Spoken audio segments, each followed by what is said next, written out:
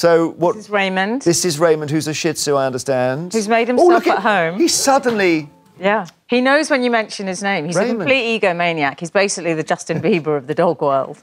uh, the reason Raymond came into Emily's life is detailed in this really beautiful but also very funny book and very sad book. Everybody died, so I got a dog, and it's quite a subject to begin with. It, almost the book happened to you, didn't it? Yeah.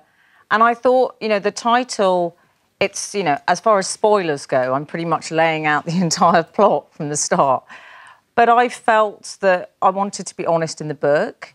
And so I decided to start with the title. You know, this is what happened. And the first person who died was your dear sister. was my sister, yeah, and I, I came from, I guess, an unconventional family, you would call it. It was quite a sort of bohemian, artsy um, family, and both my parents worked in the media, and so, You I- see, it's you and your sister here, uh, Yeah. Rachel. yes.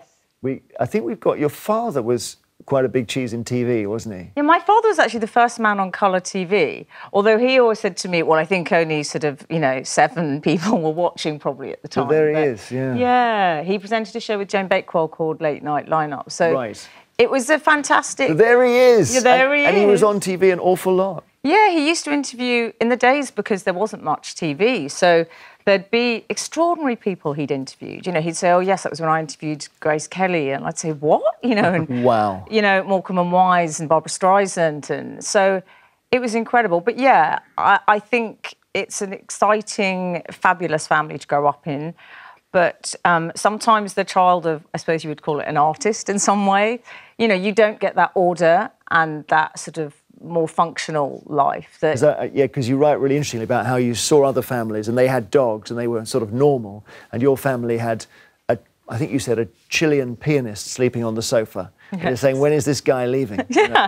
well, you'd walk downstairs and go, who's this? He's a Chilean concert pianist. I'm, oh, okay. Um, but it was that kind of sort of chaos. And actually, also, you know, like my parents would wake us up and my mum would say, she'd come in with a cigarette, always with a cigarette, and hair wet, and saying, Oh, darling, I forgot to tell you the Sex Pistols are filming in your bedroom today. You're going to have to get out. what? what? So it was, you know, if that gives you an insight into what it was like. So I would look at families, and I don't know what kind of families you grew up in, but I would call them dog families. They were my fantasy family, and they had Tupperware, and they watched things like Life on, you know, they watched David Attenborough, and uh, yeah, they played Monopoly, and at Christmas they would watch It's a Wonderful Life, and we'd watch a weird French film about adultery, you know, that was black and white. And I think, why can't we be like the dog families?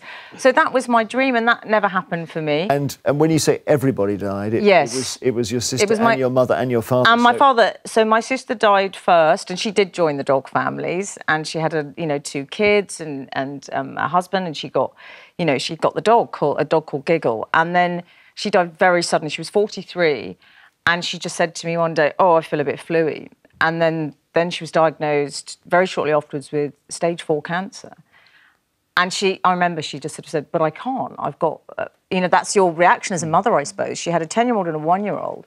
And so she died, I think it was just a week after her, uh, her daughter turned one, which was just awful, Jeremy. But then my parents, they died within three years. So my whole family had, had gone. My mother had motor neurone disease. My father had um, died from a stroke. And so I think it it was awful, but it sort of forced me to kind of start again from scratch because you have this idea that, you know, you, I'll do it tomorrow. I'll do it when the time is right. I'll get a dog. I'll do this. I'll write a book.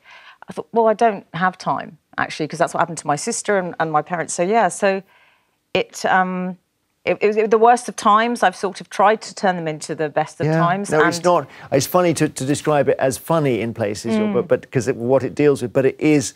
Uh, it's it, touching, I think, is probably the best word. That you know, the the passage that really got to Mm. me was your dad. He's had the stroke. He's not himself. No. And he's he's dealing with the news of your sister's death, and he sh- he shouts out, "The best one has died." about my sister. Yeah. About about you know, in other words, how do you feel about that?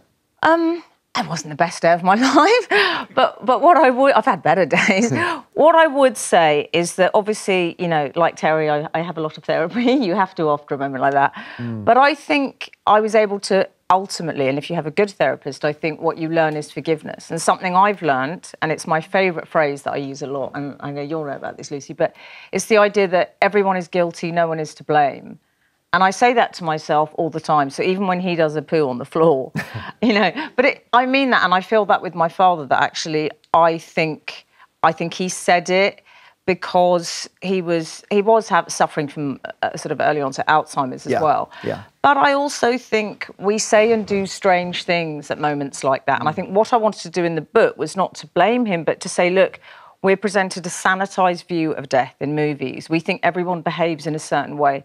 They don't. People say awful things. They do strange things. They argue. They fall out. And I wanted to have an open conversation about that.